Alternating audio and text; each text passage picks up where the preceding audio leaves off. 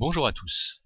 Dans cette cinquième vidéo sur le thème spécifique de la dissertation, nous allons aborder la question de la gestion des 4 heures dont vous disposez pour réaliser votre dissertation. Mais avant cela, n'oubliez pas que vous pouvez retrouver un cours de SES complet, entièrement rédigé, sur le site internet coursdeses.fr.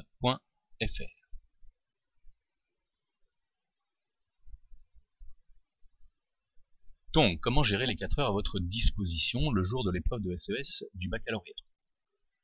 La gestion de ces 4 heures est également fondamentale, car c'est elle qui vous permettra de savoir à quel moment vous devez absolument passer à l'étape suivante de votre travail.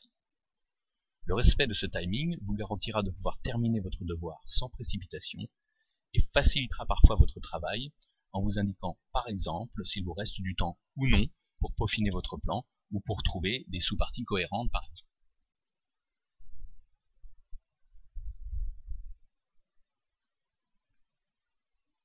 D'abord, une remarque préalable pour les élèves spécialistes de SES. Les élèves spécialistes composent durant 5 heures. Il leur est donc vivement recommandé de commencer par la spécialité et de n'y consacrer qu'une heure. Alors, comment gérer les 4 heures de la dissertation? Je vous propose donc de voir les différentes étapes à travers un tableau.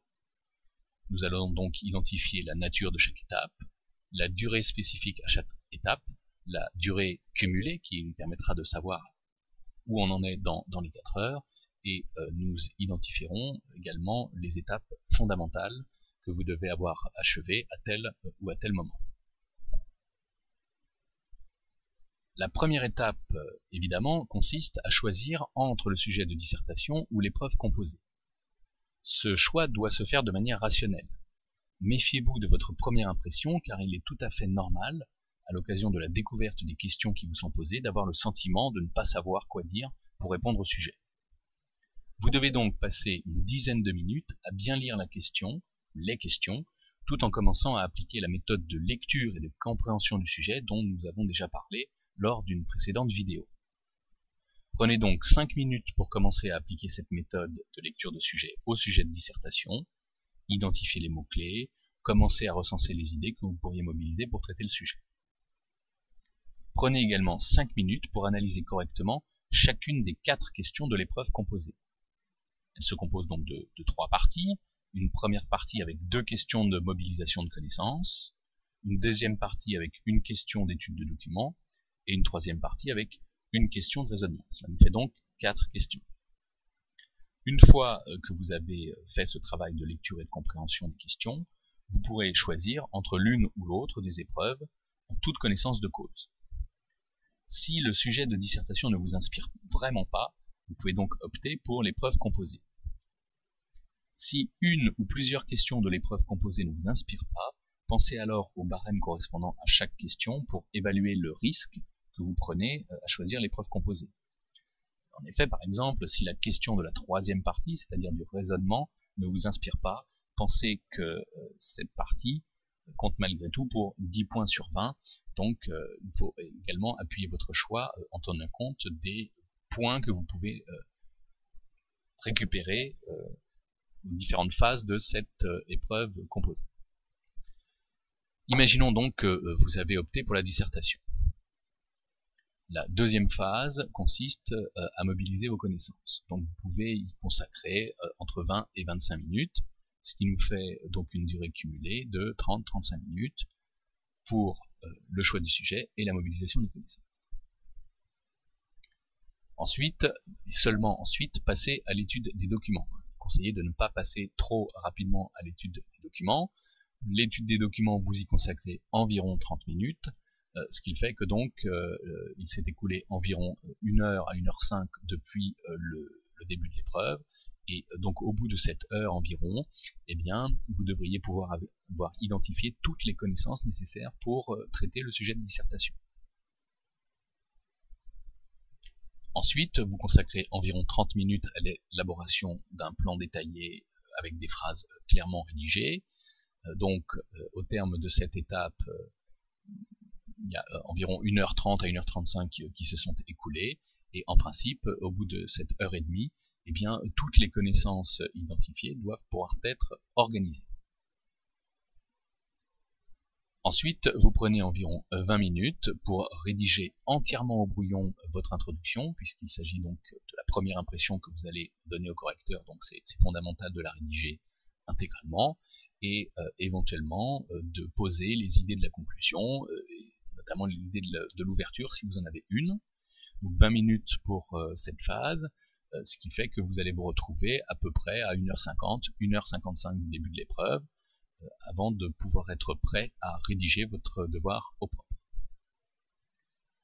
Ensuite, vous passez suffisamment de temps, c'est très important, à rédiger votre travail au propre, environ 2 heures, donc euh, ici je vous propose 1h55, ce qui nous amène à 3h45, 3h50 depuis le début de l'épreuve. Enfin, il faut euh, forcément passer euh, un temps à la relecture pour corriger donc les fautes d'orthographe éventuelles, pour modifier tel ou tel passage s'il vous semble très très peu explicite, et pour corriger donc la syntaxe des phrases si besoin. Donc 10 minutes euh, de relecture sont importantes. Euh, au terme de ces 10 minutes, donc vous devriez à peu près avoir atteint les 4 heures euh, de l'épreuve, sachant qu'évidemment on ne vous laissera pas une minute de plus et que vous devrez obligatoirement poser votre stylo lorsque le surveillant de l'épreuve vous demandera de le faire. Donc finalement, ces 4 heures se, découpent en deux grandes phases de 2 heures chacune. 2 heures donc pour la phase de réflexion intense que vous devez mener, et euh, environ deux heures pour la mise au propre et la relecture. Alors euh, évidemment ce timing euh, n'est pas respecté forcément scrupuleusement, il est indicatif et c'est à vous de l'adapter en fonction de vos aptitudes propres et vous ne pourrez adapter ce timing à votre cas personnel qu'en vous entraînant à l'appliquer si vous ne respectez pas la durée de, chaque étape, pensez euh, malgré tout euh, à bien respecter les durées euh, cumulées, parce que ce sont elles qui vont déterminer l'obligation qui se fait à vous de passer à l'étape suivante. autre remarque importante, évidemment ici les étapes sont présentées de manière successive, mais dans la réalité de votre travail, elles peuvent tout à fait se chevaucher. par exemple, la première étape de choix du sujet suppose donc que vous allez euh, opérer une phase de lecture et de compréhension du sujet, et donc que vous allez déjà, d'un certain point de vue, commencer à mobiliser vos connaissances, dès la première étape, dès les dix premières minutes.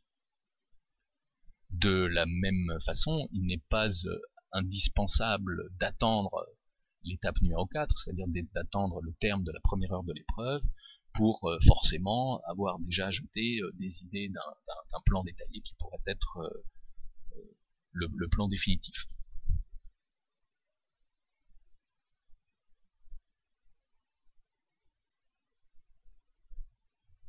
Donc nous avons pratiquement terminé l'ensemble des vidéos sur le thème de la dissertation. Les vidéos à venir parleront du caractère spécifique de l'épreuve composée.